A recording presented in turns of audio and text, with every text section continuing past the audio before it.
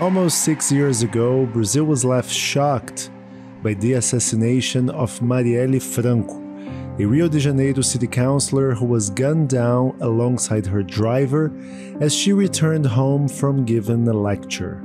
She was 38 years old. At first, the question on everyone's lips was who killed Marielle? But after two hired guns were arrested for the crime a year later, the much bigger question emerged who ordered the killing of Marielle Franco? The answer to that, more than a half decade on, is still not clear cut.